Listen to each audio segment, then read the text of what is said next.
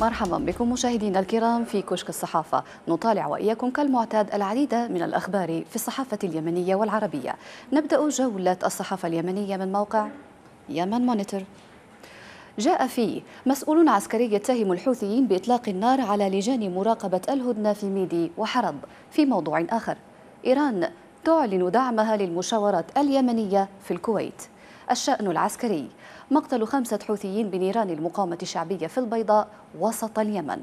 من العناوين التي جاءت أيضا تفاصيل خبر الانفجار الذي هز مدينة عدن يقول الموقع. قال شهود عيان إن عبوة ناسفة انفجرت شمال مدينة عدن عاصمة اليمن المؤقتة جنوبي البلاد استهدفت نقطة أمنية وأضاف الشهود ليمن مونيتور. إن انفجارا عنيفا هز شمال المدينة جراء انفجار عبوة ناسفة. كانت على جانبي الطريق قرب نقطة مصعبين الأمنية خلف منطقة الممدارة في المدخل الشمالي لمدينة عدن والرابط بين محافظتي لحج وأبين الجنوبيتين دون سقوط خسائر بشرية. وحتى الآن لم تتبنى أي, أي جهة مسؤوليتها عن تلك العملية. نتحول إلى موقع تغيير نت والذي ركز على آخر التطورات. بان كيمون يحض على بدء مفاوضات السلام اليمنية دون تأخير. في الشأن السياسي أيضا جاء هذا العنوان. الرئاسة اليمنية تقول نطالب المجتمع الدولي باتخاذ إجراءات ضد معطلي عملية السلام. في عنوان آخر. نقابة الصحفيين تدين ملاحقة الصحفي عبد الحفيظ الحطامي وتوقيف راتبه. ذكر الموقع أيضا في التفاصيل إطلاق الميليشيا صاروخا باليستيا صوب الأراضي السعودية وجاء في الخبر. أفادت مصادر إعلامية يمنية أن ميليشيا الحوثي أطلقت صاروخا باليستيا من محافظة صعدة شمال العاصمة صنعاء صوب المملكة العربية السعودية. وأضاف الموقع. قال شهود عيان إنهم سمعوا دوي الصاروخ أثناء انطلاقه من بلدة سحار في صعدة معقل جماعة الحوثيين وتابع في التفاصيل. يعتبر هذا الصاروخ الثالث الذي يطلقه الإنقلابيون منذ سريان الهدنة قبل نحو أسبوع ولم تعلن قوات التحالف العربي بقيادة السعودية عن إطلاق الصاروخ. عن التفاوض وتطبيق الميليشيا والمخلوع للقرار الأممي كتب حسين الوادعي مقالا مقتضبا عن ذات الموضوع ويقول الكاتب. إيقاف الحرب وتطبيق القرار 2216 لا يمكن أن يتم دون اتفاق سياسي. الحوثيون يريدون الوقف الكامل للحرب قبل أي اتفاق والحكومة تريد التطبيق الكامل للقرار قبل أي اتفاق وهذا ما لا يمكن أن يتحقق. لا يمكن أن تتوقف الحرب أو يطبق القرار دون وجود خارطة سياسية واضحة لمراحل إيقاف الحرب الداخلية والخارجية ولمراحل وآليات تطبيق بنود القرار ولمواقع وأدوار ومستقبل كل طرف في الحوار. المفاوضات هي نقطة البداية ولا يمكن أن يتم تحقيق كل شيء قبل المفاوضات. وإلا انتفت العلة من وجودها فلو كان أي طرف يملك إمكانية التطبيق الفوري أو الوقف الفوري لما احتجنا للتفاوض. مشكلة الحوثيين وصالح أنهم يرون أن التفاوض الوحيد المطلوب هو التفاوض المباشر مع السعودية على قاعدة تقديم الضمانات المطلوبة لتبديد مخاوفها وضمان أمنها وليس على قاعدة تطبيق القرار 2216 أما مشكلة الحكومة فهي تمسكها بالتطبيق المباشر والحرفي لقرار لا تملك القوة ولا الرؤية لتطبيقه. مشاهدينا نتحول بكم إلى موقع نيوز يمن. نتابع أهم الأخبار والعناوين منها. اللواء القشيبي يقول سقوط قتلى وجرحى من الجيش والمقاومة في حرد وميدي بسبب استمرار مقاتلي الحوثي وصالح في خرق الهدنة. إلى الجانب السياسي ولد الشيخ والمخلافي يجتمعان مجددا لاستعراض نتائج لقاء الوزير بسفراء مجموعة الدول الثمانية عشر. عنوان آخر هادي يلتقي قيادات في الحراك في الحراك الجنوبي ويؤكد السير في مشروع اليمن الاتحادي. واهتم الموقع بخبر تضامن الحائزة على جائزة نوبل للسلام مع الطائفة اليهودية. يقول الموقع أعلنت الناشطة اليمنية الحائزة على جائزة نوبل للسلام توكل كرمان تضامنها مع الحاخام يحيى يوسف الذي اعتقله الحوثيون بصنعاء منذ أسبوع. وذكرت كرمان في منشور لها على موقعها في شبكة التواصل الاجتماعي فيسبوك. إن اعتقال حاخام الطائفة اليهودية في اليمن تم مع اثنين من رعايا الطائفة مشيرة إلى أن المعتقلين لا زالوا حتى الآن رهن الإخفاء القسري من قبل سلطات الأمر الواقع في صنعاء. وقالت توكل كرمان أيضا تضامني المطلق مع الحاخام يحيى يوسف واثنين آخرين من الطائفة اليهودية الذين اعتقلتهم ميليشيا الحوثي الفاشية وأخفتهم قسريا منذ أسبوع الحرية لكافة المختطفين والمخفيين قسريا في سجون ومعتقلات الميليشيا في اليمن. نذهب إلى موقع الموقع نطالع التطورات الأخيرة. الجيش الوطني والمقاومة يصدان أعنف هجوم للميليشيا على منطقة العقبة بالجوف. الشأن الحقوقي. 1477 جريمة جريمة وانتهاكا ارتكبتها الميليشيا بمحافظة إب خلال ثمانية أشهر فقط. في عنوان آخر الداخلية الجيبوتية تؤكد إحباط مخطط للحوثيين لتفجير سفارات التحالف العربي في جيبوتي.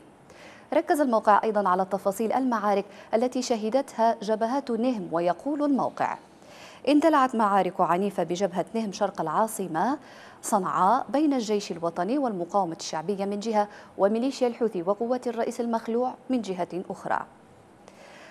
وأوضح المركز الإعلامي التابع لمقاومة صنعاء أن ميليشيا الحوثي والمخلوع واصلت خروقاتها للهدنة حيث شنت هجوما على مواقع الجيش والمقاومة في جبل يام بمديرية نهم شرق العاصمة صنعاء وأشار إلى أن قوات الجيش والمقاومة أحبط الهجوم وأوقعت وأوقع أحد عشر قتيلا في صفوف عناصر الميليشيا فضلا عن أسر ستة آخرين.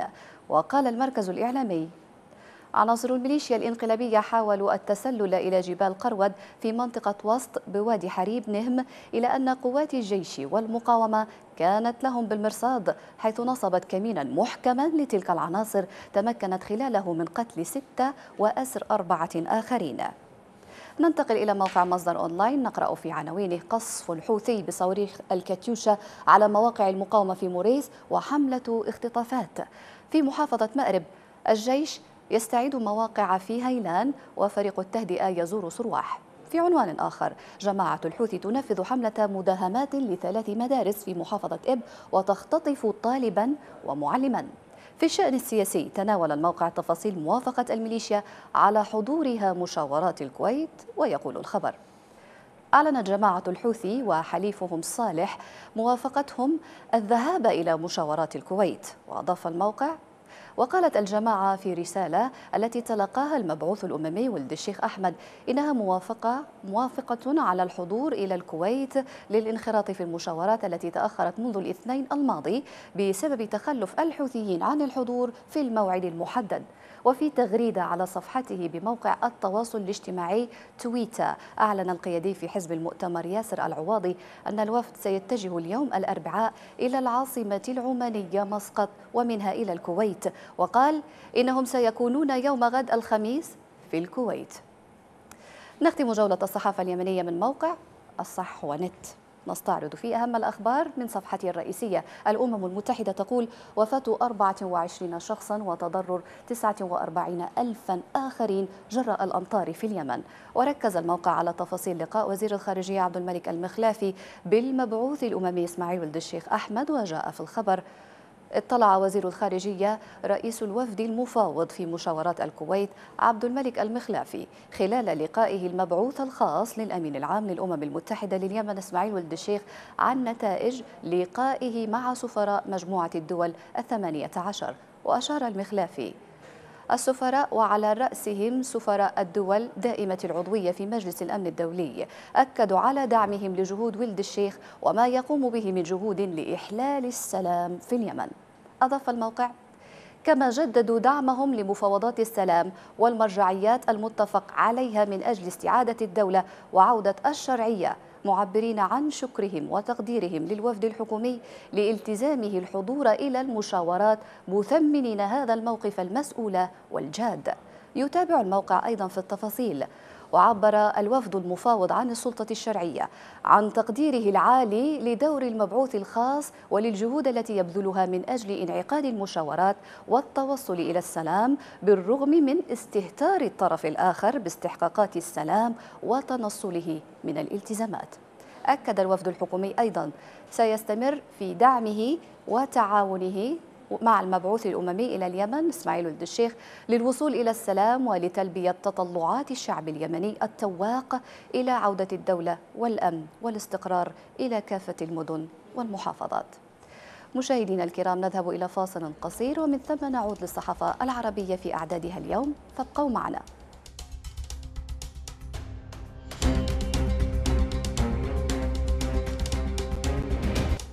نعاود الترحيب بكم مشاهدينا الكرام نصحبكم الآن إلى الصحافة العربية الصادرة في أعدادها اليوم والبداية من البيان.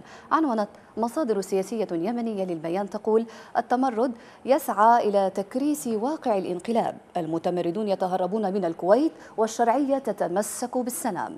تقول الصحيفة الإماراتية استمر الطرف المتمرد في اليمن كعادته وللمرة الثالثة على التوالي في نكث العهود ومحاولة المماطلة وكسب الوقت في التهرب من أي حل ينهي الانقلاب ويعيد الشرعية. والسلام إلى البلاد.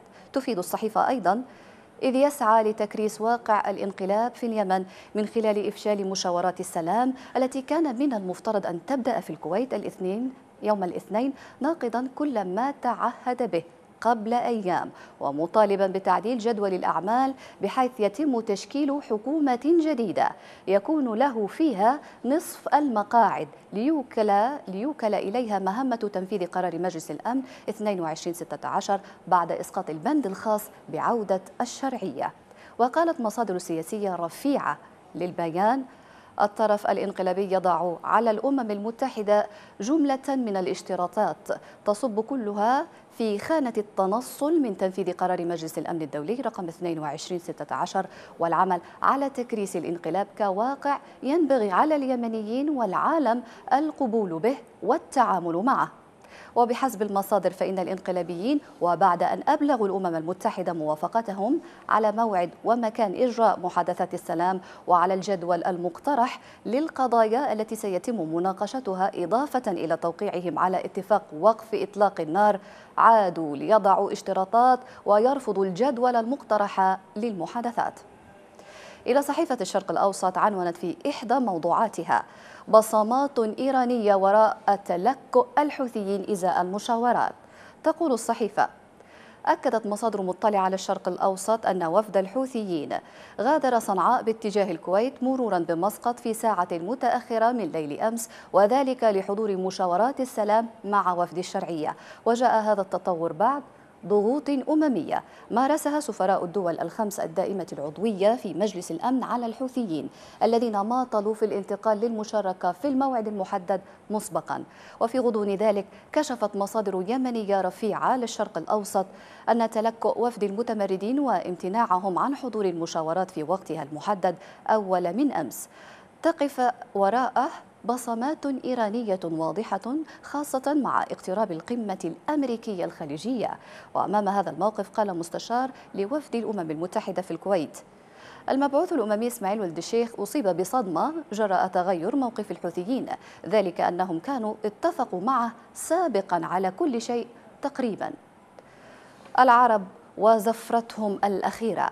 تحت هذا العنوان كتب حسام أبو حامد مقالا في العرب الجديد وقال حامد شكلت وسائل التواصل الاجتماعي مجتمعا موازيا تعدديا وأكثر تحررا من إكراه السلطة كان مجالا عاما لحركة افتراضية بأعضاء شبكيين. لكن غياب المشروع الثقافي وتخلف النظام التعليمي وحجب الهوة بين الثقافتين الشعبية والنخبية لم يتح قدرة على تحويل كم المعلومات التي يتيحها هذا الفضاء إلى معرفة ولم يتحول هذا المجتمع الموازي إلى مجتمع بديل حين عجز عن إنتاج توافق حول السلطة الأخلاقية التي ينبغي أن تقوم عليها السلطة السياسية. اصطدم هذا المجتمع الافتراضي بحدود الواقع. وفي غياب فكرة جامعة عن الحق فإن سقوط رأس النظام من دون سقوط النخبة الحاكمة السلطة العميقة والثورات المضادة والتطرف الإسلامي غياب دور فاعل للمثقفين انتهازية أحزاب المعارضة التقليدية وغيرها أعاقت تحولا ديمقراطيا حقيقيا في ظل مأسسة للسلطة واختزلته في أحسن الأحوال إلى انتقال سياسي محدود واستمرت السلطة رهان المتنافسين الذين لا مشروع لهم سوى الفوز بها. في أسوأ الأحوال حلت الطائفية مكان الأيديولوجيا والدويلات بدل الدولة والجماعة بدل الوطن والميليشيات بدل الأحزاب السياسية. عكست إخفاقات الربيع العربي حالة الاستعصاء التاريخي المزمن وحجم المعضلات المتراكمة والمتداخلة. فهل انفجر التاريخ العربي ليطرد ما تراكم فيه من قيح قرون ألا يبدو الانفجار التاريخي نظرية في التبرير أكثر من كونها نظرية لتفسير يقتضي منا تحمل مسؤولياتنا التاريخية؟ أليست تسليما بفشلنا في رهان المجتمع الدولة واستسلاما لرهان على تاريخ من فك يسير خط عشواء وبقي أصحابه على الهامش من دون مشاريع في الاقتصاد والسياسة والفلسفة منذ سقوط غرناطة لم نكف بحثا عن مناف نطلق منها زفرتنا الأخيرة فلما الرهان على عون تاريخ لم نجعل منه سيرورة إدراك ذواتنا تسمح لنا بإنتاج هوية ثقافية وطنية تحت ظلال الدولة بل تركناه لهويات ترتكز على الذات وتعرف نفسها من خلال دورها في مواجهة الآخر. تنقل صحيفة الخليج عن مصادر حكومية مسؤولة تحذيراتها من أن تلكؤ الانقلابيين في التوجه إلى الكويت في الموعد المحدد بالرغم من التزام الوفد الممثل للحكومة وهو ما يثير انطباعات سلبية حول جديتهم ونواياهم المبيتة حيال التوصل لحل سياسي ينهي الحرب المتصاعدة في اليمن. واعتبرت المصادر أن الحكومة اليمنية لا تزال عند حرصها الشديد على إتاحة المجال للحل السياسي رغم قدرتها على إنهاء الانقلاب باللجوء لخيار الحسم العسكري. معتبرة مفاوضات الكويت آخر فرصة أمام الحوثيين لإنهاء الانقلاب وللبدء بتنفيذ القرار 2216 والدفع بخيار التسوية. واعتبر الأكاديمي اليمني المتخصص في إدارة الأزمات عبد الكريم أحمد في تصريح للخليج أن انعقاد مفاوضات الكويت في وقت لاحق للموعد المحدد سلفا حتى في حال حضور ممثل الحوثيين وحزب المؤتمر. لن يغير الانطباعات التي ارتسمت لدى الكثير من اليمنيين حيال تضاؤل فرص التوصل لتسوية سياسية تنهي الحرب. وعلمت الخليج من مصادر موثوقة أن ممثلي حزب المؤتمر الشعبي العام الموالين للرئيس المخلوع صالح أعدوا ورقة تتضمن مطلبين لوضعهما على طاولة المفاوضات. الأولى اشتراط إلغاء العقوبات علي صالح وعلى نجله وعلى على صالح وعلى نجله وعلى عدد من قيادات الحزب المقربة منه والتي فرضت عليها عقوبات فرضت عليها عقوبات تتعلق بوضع قيود على السفر والتنقلات خارج اليمن وتجميد الأرصدة. أشارت المصادر أيضا إلى أن النقطة الثانية تتضمن المطالبة بتسوية آمنة لوضع الرئيس المخلوع من خلال تقديم ضمانات من الرئاسة والحكومة الشرعية بعدم إلغاء امتيازات الحصانة القضائية والجنائية التي منحت له بموجب اتفاق المبادرة الخليجية. إلى صحيفة العرب الجديد تابعت إحدى الموضوعات المحلية الهامة وقالت على طرقات اليمن تقول الصحيفة إن مئات اليمنيين في الأودية الواقعة بين المناطق الجبلية والساحلية يعملون في ترميم الطرقات الترابية والإسفلتية بهدف تأمين مرور سيارات المسافرين بسهولة بعدما توقف التمويل لإصلاحها منذ بداية الحرب في البلاد. وتضيف العرب الجديد. يستمر عمل هؤلاء الأشخاص لفترات طويلة بسبب الأضرار الكثيرة ولا سيما بعد هطول الأمطار وتدفق السيول من المنحدرات الجبلية والتي تحمل كميات كبيرة من الصخور والأتربة فتسد الطرقات وتعيق مرور السيارات. تسرد الصحيفة أيضا طريقة عمل هؤلاء. صباح كل يوم يحملون مجارفهم ويتوجهون لإصلاح الطرقات لمساعدة الأهالي والحصول على ما تيسر من أموال من سائقي السيارات لعلهم يستطيعون تأمين احتياجات أسرهم الأساسية. ويشرح أحدهم للعرب الجديد أعيش وأسرتي في ظروف صعبة للغاية حتى إنني لا أستطيع السفر إلى المدينة للبحث عن عمل كالعادة لعدم توفر ثمن المواصلات. لذلك أعمل في إصلاح الطرقات مقابل الحصول على مبالغ زهيدة ويشير إلى أن متوسط ما يحصل عليه. كل يوم. لا يتجاوز 300 300 ريال يمني أي أكثر من دولار واحد فقط في الوقت نفسه. قد يحصل على مبالغ أكبر من فاعل الخير من حين إلى آخر. إلى صحيفة القدس العربي اهتمت بإحدى الموضوعات وعنونت سجين سابق في غوانتانامو يخطب ناشطة حقوقية ساعات لإطلاق سراحه. تقول الصحيفة إن الكندي عمر خضر الذي كان أصغر سجين في غوانتانامو يخطط للزواج من ناشطة حقوقية كانت قد أطلقت حملة من أجل إطلاق سراحه. وكانت الناشطة منى أبو غوش 26 عاما التي خطبها ضمن مجموعة من النشطاء الذين أطلقوا حملة للإفراج عن خضر من غوانتانامو. وكانت قد قامت بزيارته في السجن المشدد الحراسة بعد نقله إلى كندا. وكان خضر المولود في تورنتو قد قضى عقدا من الزمن في السجن المركزي الأمريكي بخليج غوانتانامو في كوبا بعد تم إلقاء القبض عليه في يوليو عام 2002 في أفغانستان. باعتباره مقاتلا كان يبلغ من العمر آنذاك 15 عاما. وعن المفقودين الذين تغيبهم الميليشيا في أنحاء الوطن العربي كتبت الروائية نجوى بركات مقالا وقالت الكاتبة إن رؤية الميت والبكاء عليه وإتمام طقوس الوداع والعزاء هي ما يجعل فكرة الموت والفقد غير المحتملة تجد طريقها إلى عقول أهله ومحبيه. أما المفقود أي ذاك الذي اختفى أو ضاع بعد أن قص شريط حياته عنوة في لحظة ما في موضع ما ولم يعرف عن مصيره فيبقى هائما ما بين بين فلا هو ميت ولا هو حي. إنه في negative الصورة وانعكاسها في المرآة في فسحة من الشوق والغياب. وشقاء أسئلة معلقة وكوابيس قتل وتقطيع وتعذيب على أيدي مصاصي الدماء تحفل بهم الحروب الأهلية عامة. وحين تمضي الحرب التي خطفت أحباءنا وكانت ذريعة عدم التوصل إلى كشف الحقيقة يزداد الوجع والحريق. وقد تيقنا أن المسافة التي تبعدنا عنهم تزداد أن ملامحهم في الصور التي نرفعها ونعانقها ونقبلها كبدائل عنهم باتت إلى تحلل واختفاء وأننا لم نعد نملك منهم إلا أسماء لن تخبر عنهم الكثير وستنزل ذات يوم قريب معنا إلى القبور. حينها نجلس لنفكر فيما عساه يحفظهم من الاندثار والإمحاء. يستبقي ذكراهم ويجعل من سيأتون من بعدنا يتابعون مثلنا البحث والانتظار. أن نحيي قصصهم أجل بأن نرويها وندونها حبرا على ورق ونجعلها في متناول أكبر عدد من الأشخاص بانتظار أن يعودوا أحياء أو موتى لا يهم مكتملين أو منقوصين لا يهم. المهم هو أن تتم الحكاية فنغمض أعينهم وننام. مجموعة مميزة من رسوم الكاريكاتير أترككم معها وحتى ألقاكم في كشك الصحافة مرة أخرى. في أمان الله وحفظه.